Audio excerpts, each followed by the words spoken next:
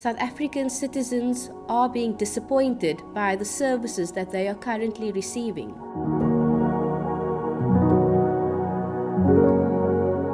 So, we need to get a better understanding about how the public sector environment works so that we can understand how we are being impacted.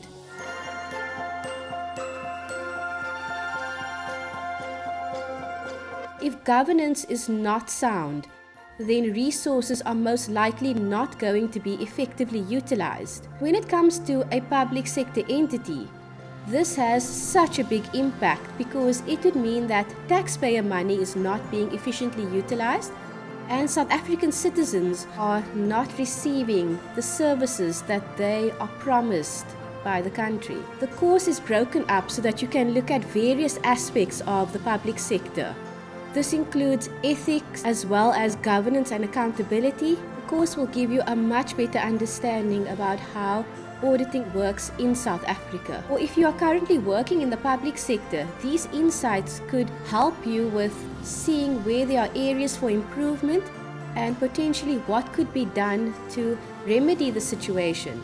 And this is very important because currently there is a lot of improvements needed in the public sector in South Africa.